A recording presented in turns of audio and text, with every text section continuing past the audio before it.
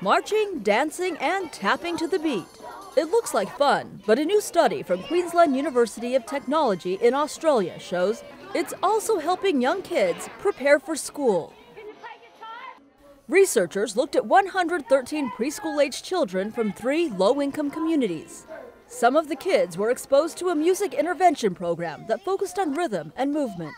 The sessions lasted 30 minutes, twice a week for eight weeks. Results showed the kids who participated in the intervention had improved emotional regulation, which means they were better able to control their emotions.